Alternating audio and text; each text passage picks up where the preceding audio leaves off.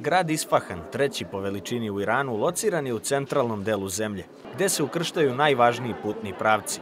Takav geografski položaj doneo mu je poseban značaj kroz istoriju. U 17. veku proglašen je prestonicom Persije i vekovima važi za jedan od najrazvijenijih gradova u Iranu. Jedan od simbola njegovog razvoja i značaja je i naučno-tehnološki park osnovan 1993. godine, ustanova sa visokom reputacijom u zemlji, ali i svetu. Nalazi se u planinskoj visoravni Mahmudabad, severozapadno od Isfahana, okružen industrijskim postrojenjima. Na prostoru od 5000 hektara okupili su se najbolji iranski naučnici. Naučno-tehnološki park u Isfahanu je intelektualna oaza Irana. U pitanju je najstariji objekat ove vrste u zemlji. Danas On angažuje više od 8000 diplomaca iz različitih naučnih oblasti. U ovoj ustanovi realizuju se projekti iz biotehnologije, računarstva, informacionih tehnologija, medicine, petrohemije i drugih naučnih grana. Naučno-tehnološki park u Isfahanu blisko sarađuje sa svojim blizancima iz mnogih delova sveta. Francuske, Kine, Malezije, Južne Koreje, Španije i drugih. Glavno obeležje rada ove ustanove je odnos i saradnja sa UNESCO.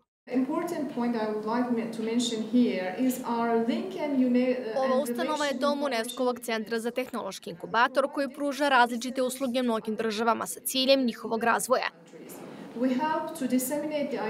Predlažemo ideje u uspostavljanju i održavanju naučno-tehnoloških parkova.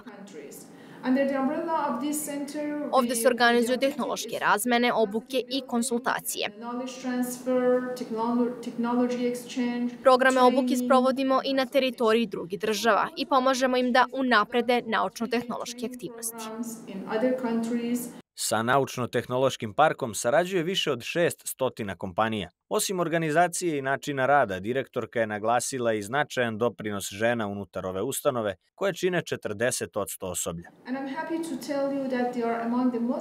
Sa zadovoljstvom mogu da kažem da žene u Naučno-tehnološkom institutu zauzimaju visoki položaje. Među najuspešnijim kompanijama koje sarađuju sa nama, žene čine bar 50 ljudstva.